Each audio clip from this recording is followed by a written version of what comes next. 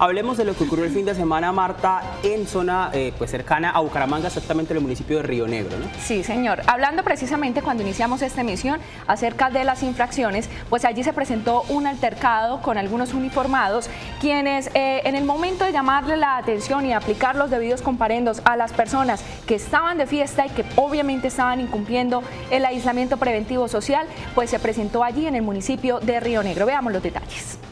Ya esto, yo tengo la mano partida.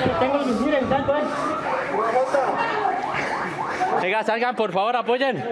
Este escenario ocurrió frente a la estación de policía del municipio de Río Negro, minutos después de que los uniformados fueran al asentamiento humano La Victoria, ubicado en el corregimiento de San Rafael de Lebrija, por un llamado de la comunidad que manifestaba que algunos ciudadanos consumían alcohol y violaban el aislamiento obligatorio y toque de queda. La policía acude al sitio, infortunadamente fueron objeto de agresiones con objetos contundentes, piedras, palos, inclusive hasta armas, armas blancas, machetes.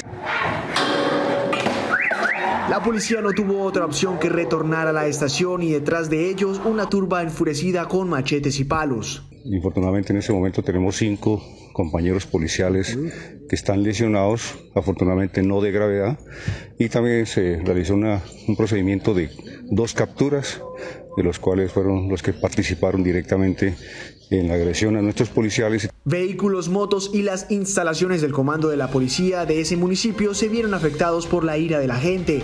Finalmente los uniformados se recuperan satisfactoriamente.